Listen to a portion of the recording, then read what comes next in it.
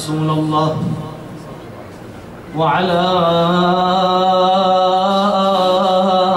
أهل بيتك الطيبين الطاهرين المعصومين المظلومين لعن الله الظالمين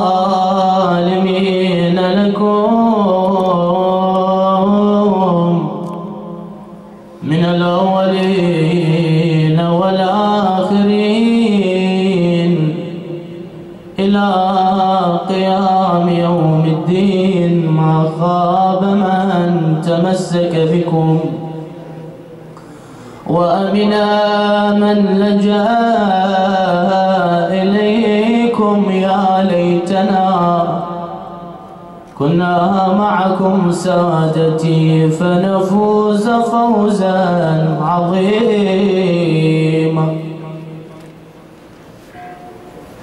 لبيت الله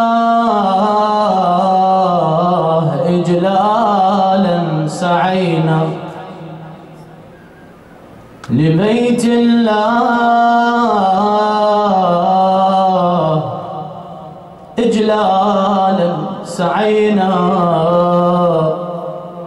نسائل كيف نمحو ما جنينا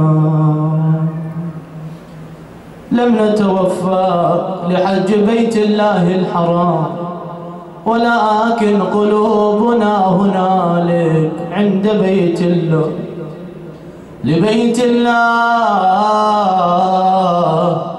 إجلالا سعينا. نسائل كيف نمحو ما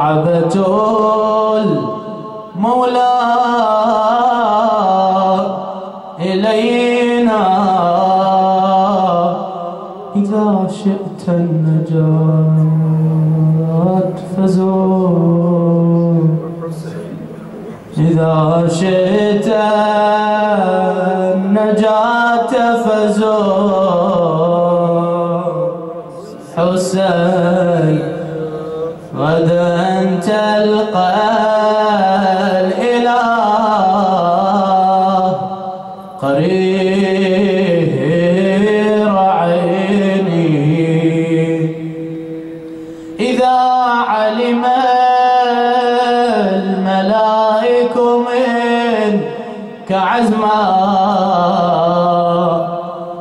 تروم مزاره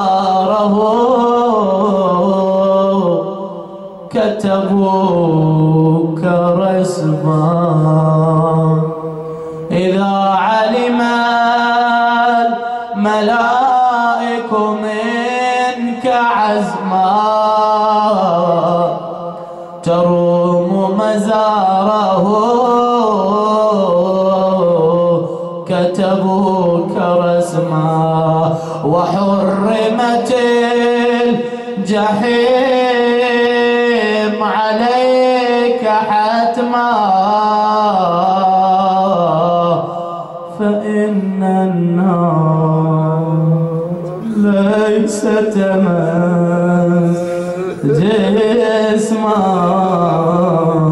عليه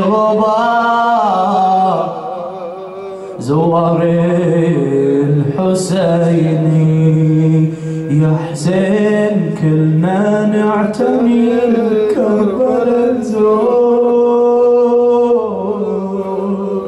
يا حسين كلنا نعتني نزور بس ما نوصلكم وننظر بهيج القبور. ندخل الحاير بالحنين ولطم الصدور ندخل الحاير بالحنين ولطم الصدور يا زايد حسين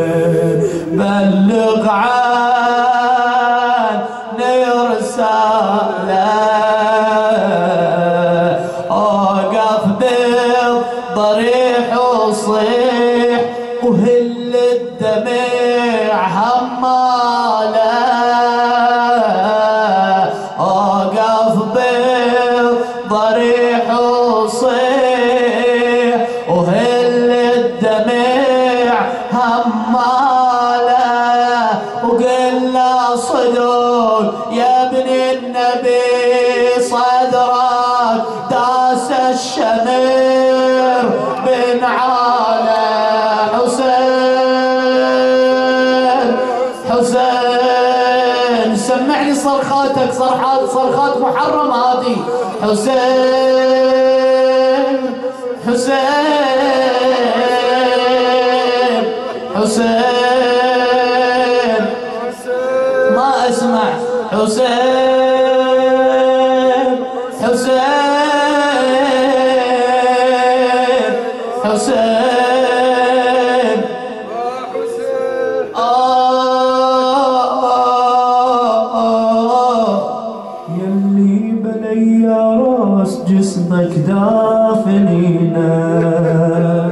يلي بلي راس جسمك دافنينا ويلي بحوافر نع وجهي مرضضينا يا حسين عبد الله الطفل مدفون وينه؟ قول للحسين يا حسين عبد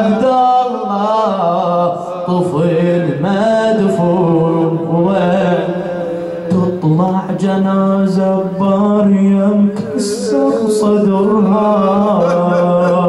تطلع جنازة باريم كسر صدرها. وطفل طفل بلي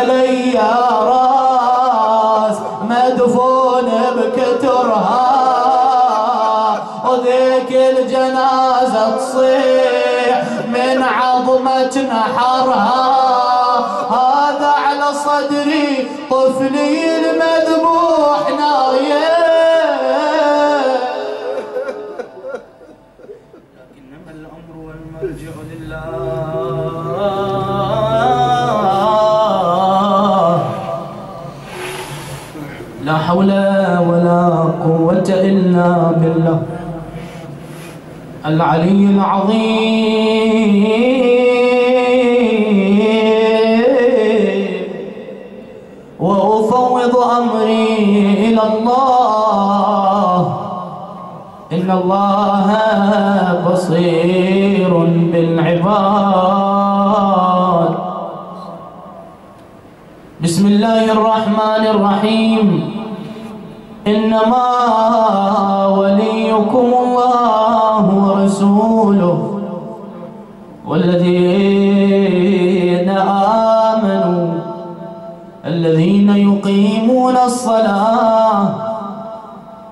ويؤتون الزكاة وهم راكعون.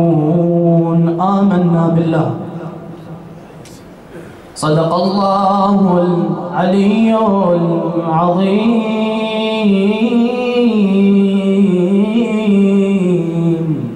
صلوا على محمد وآل محمد. صل وسلم على محمد وآل محمد اللهم صل وسلم على محمد وآل محمد اللهم صل وسلم على محمد يستدل العلماء من خلال هذه الآية على إمامة الإمام علي صلوات الله وسلامه عليه. فيقول إن هذه الآية هي من أقوى الدلائل ومن أقوى البراهين على إمامة الإمام علي أمير المؤمنين صلوات الله وسلامه عليه. وقالوا إن هذه الآية نص واضح وجلي في إمامة الإمام علي عليه السلام وفي ولايته إنما وليكم الله ورسوله والذين آمنوا الذين يقيمون الصلاة ويؤتون الزكاة وهم راكعون. حادثة معروفة الكل يعرفها حينما دخل ذلك الرجل إلى المسجد. كان فقيرا يريد أحد أن يعطيه شيئا فما أعطاه أحد إلا علي وكان علي في حال الركوع فتصدق علي صلوات الله وسلامه عليه بخاتم. أعداء أمير المؤمنين يحاولوا بكل أسلوب أن يبعدوها عن علي صلوات الله وسلامه عليه. حقد على أمير المؤمنين. فمن ضمن الشبهات التي وضعوها حول هذه الآية المباركة قالوا لو كانت هذه الآية نازلة في علي زين لو كانت هذه الآية نازلة في علي لكان الله سبحانه وتعالى لم يذكرها في هذا السياق ليش؟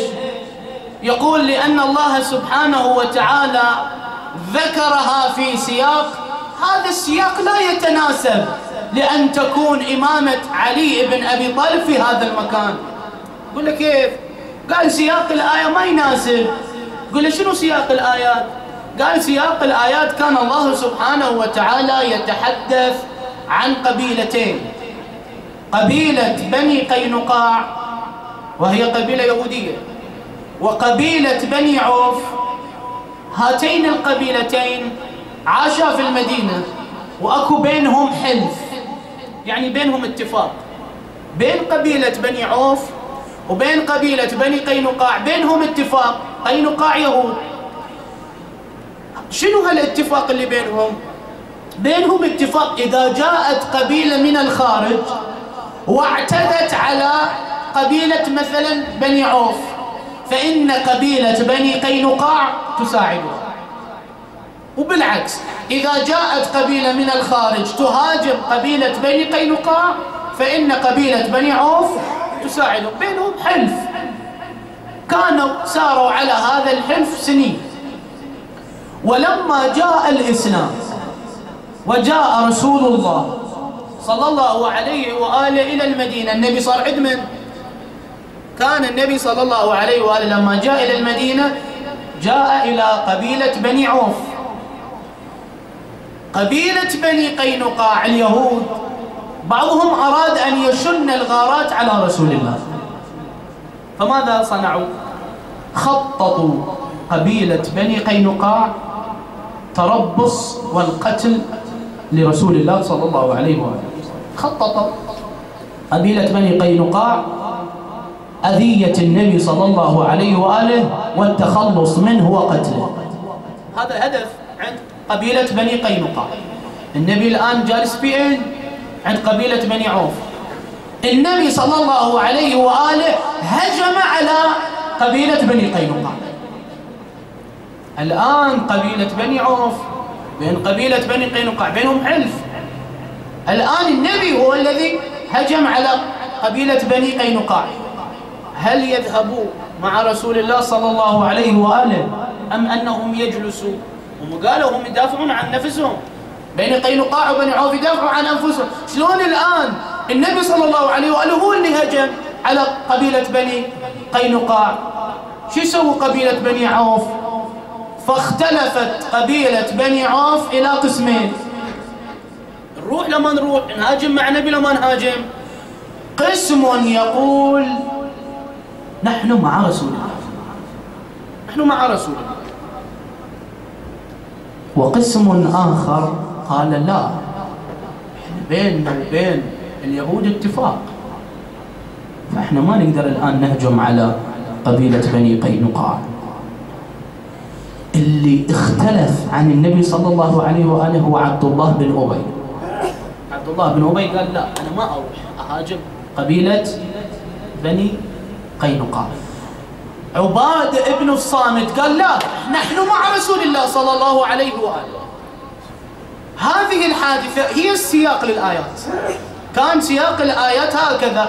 بعد ذلك في وسط الآيات قال الله سبحانه وتعالى إنما وليكم الله ورسوله والذين آمنوا الذين يقيمون الصلاة ويؤتون الزكاة وهم راكعون. إذا سياق الآيات عرفنا أكو مشكلة حدثت النبي صلى الله عليه وآله هجم على قبيلة بني قينقاع اختلفت قبيلة بني عوف هل نذهب مع رسول الله أم لا؟ هذا هو سياق الآيات بعد ذلك قال الله سبحانه وتعالى إنما وليكم الله ورسوله والذين آمنوا الذين يقيمون الصلاة ويؤتون الزكاة وهم راكعون. لذلك قال البعض هذه لا تعني عليا بسبب سياق الآيات.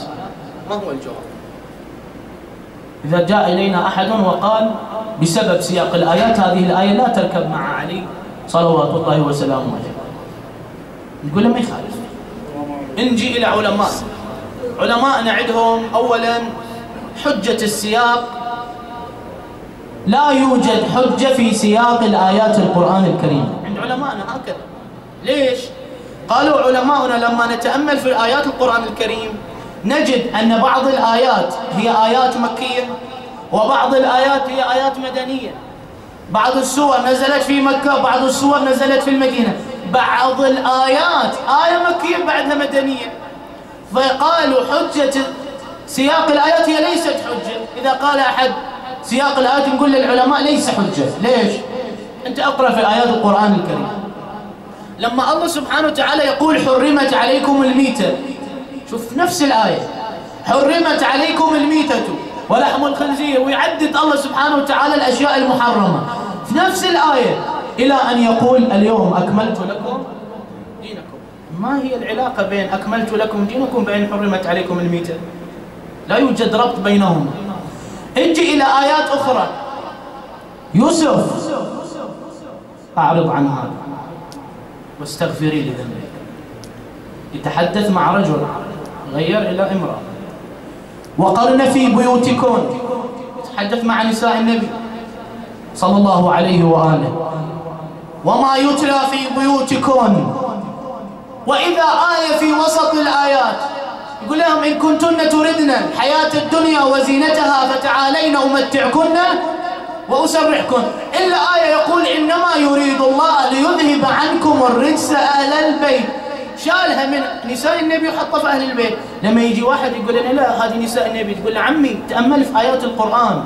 الله قال في كذا موضع من سورة الأحزاب وقرن في بيوتكم. تقول إذا أنت عربي اعرف مع معنى بيوت. الله لم يقل بيت. الله إيش قال؟ كم بيت؟ بيوت. وقرن يا نساء النبي في بيوتكم.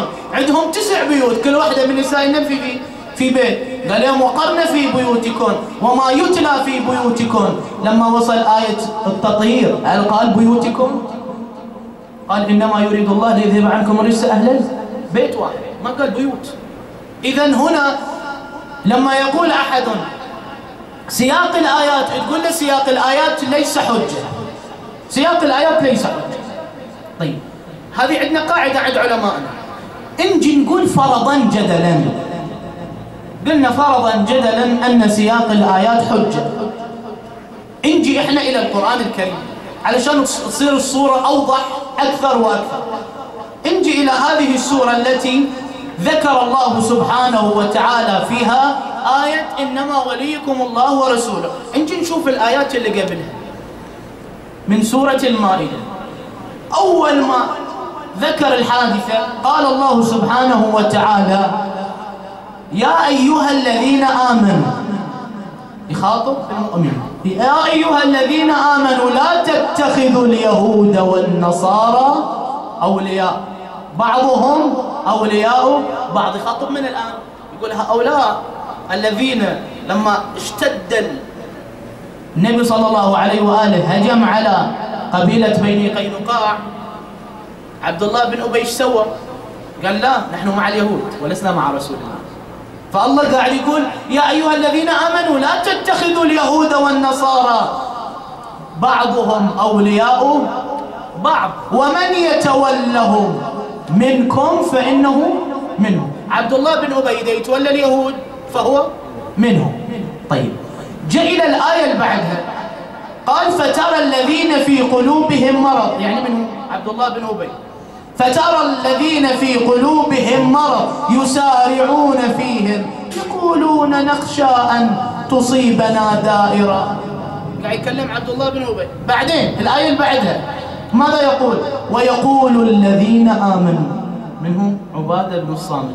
ويقول الذين آمنوا أهؤلاء الذين أقسموا بالله جهد أيمانهم إنهم لمعكم. يجي إلى الآية اللي بعدها.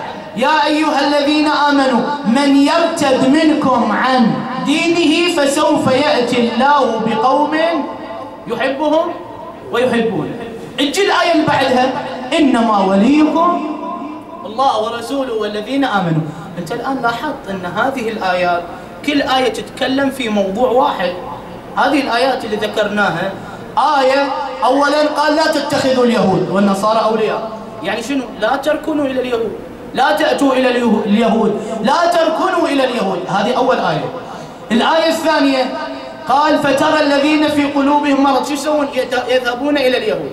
أول شيء حذر الله سبحانه وتعالى عدم الركون إلى اليهود. هذا واحد. اثنين ذكر عبد الله بن أبي أنه ركن إلى اليهود. ثلاثة ماذا قال؟ ويقول الذين آمنوا أهؤلاء يعني ذكر عبادة ابن الصامت نشوف كل آية لها معنى. أول شيء قال لا تتولوا إلى اليهود.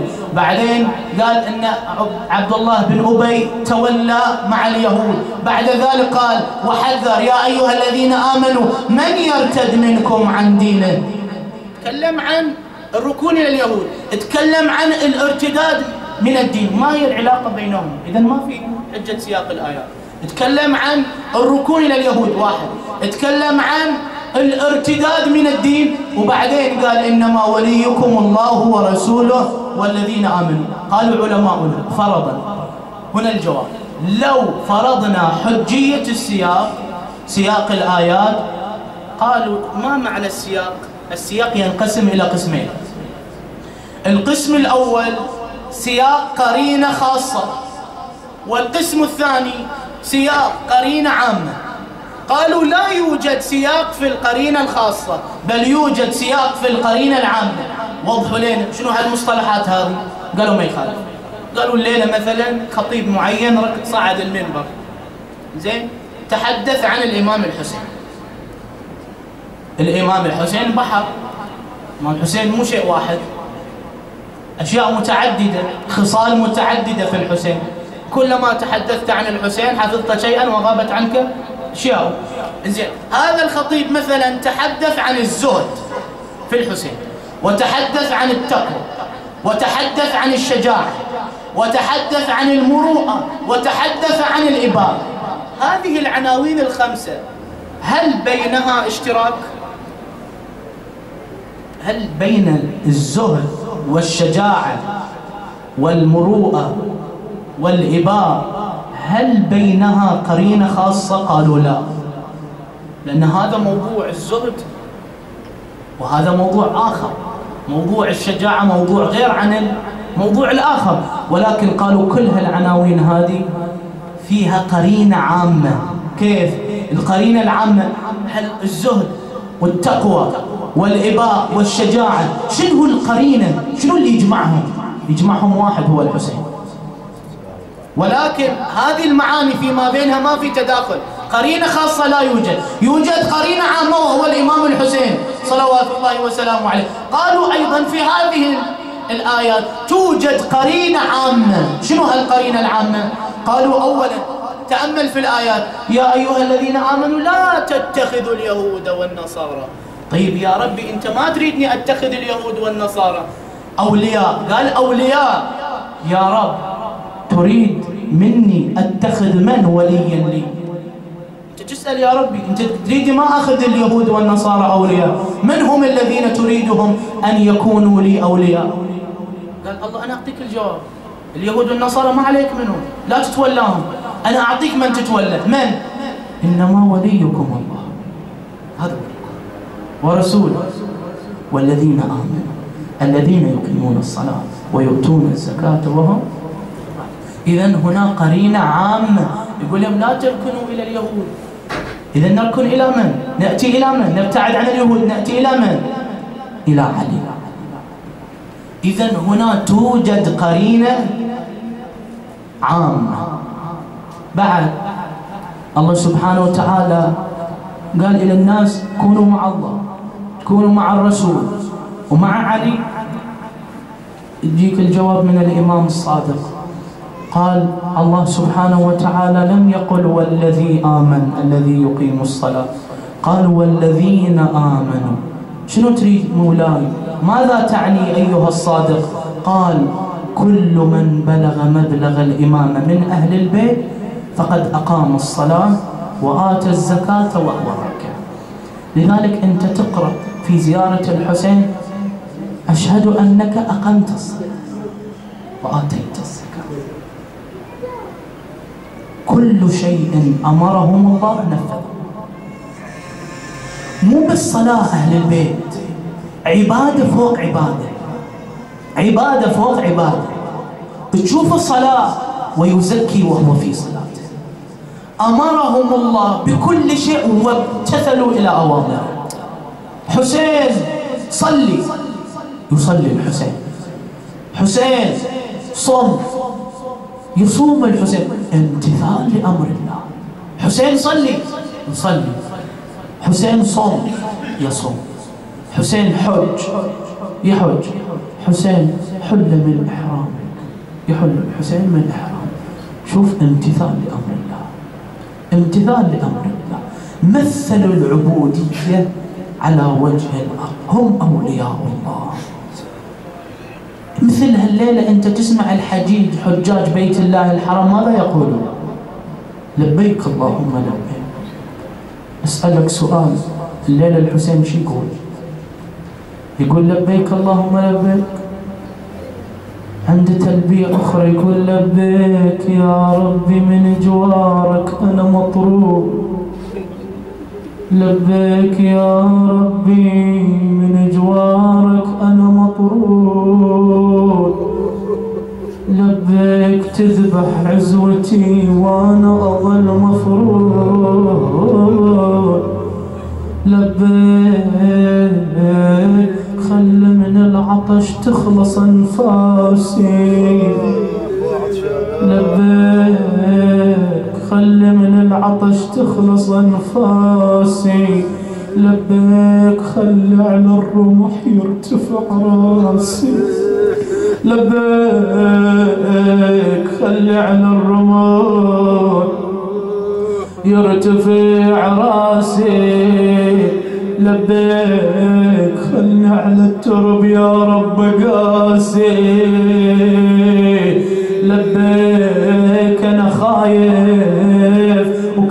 الناس مأمونة. الحسين ما ينساك لبيك كان بذبحتي تسلم الشيعة. لبيك كان بذبحتي تسلم الشيعة. خلهم يذبحوني ويسلبون الوديعة. وإن كان ترضى بذبحة حسين ورضيعة لبيك أنا خايف وكل الناس مأظونة. سامحني على هالبيت لبيك خلي ابن الضباب يحز نحري لبيك يحز نحري. لبيك خلي الأعوج يدوس صدري. لبيك خلي الأعوج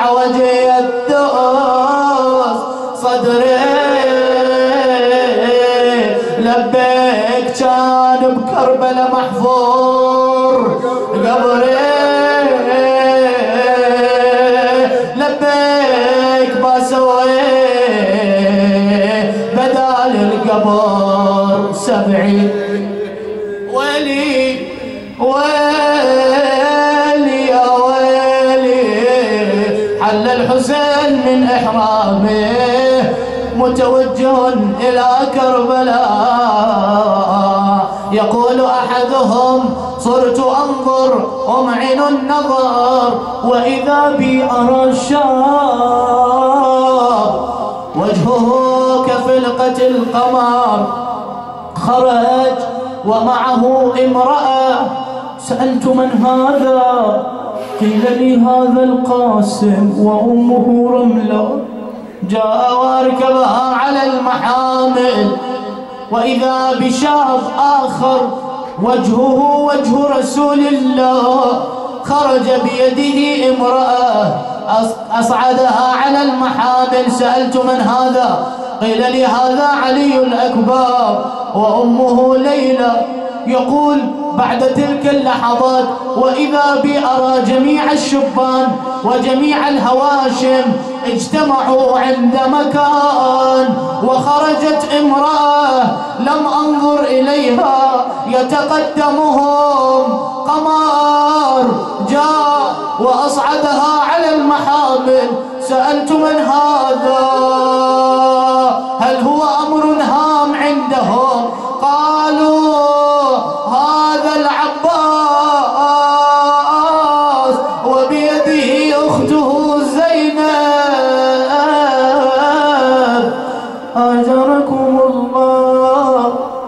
جاء عبد الله بن جعفر زوج الحوراء زينب. جاء زوج الحوراء زينب صار الحديث بينه وبين زينب. شو يقول يا الوديعة وداعة الله سافر بخدمة حسين. فراقكم والله شعب قلبي شبيدي على العين؟ عايف اوطانه وحجة شايل بقومه وهلا. نشدت وقال لي أنا حجي بوادي كربلاء وانت يا بنت البتولة مخدرة ومدللة عالسراب البر وركوب الجمل ما تقدرين رفع صوته بالعويل. صاح ودموعه تصوب سامحيني وداعة الله وانشعب من القلب. نادي تمسامح يا ابن عمي ترى فراقك صعوب لكن مفارق الروح. أهون من مفارق حسين لكن مفارق الروح.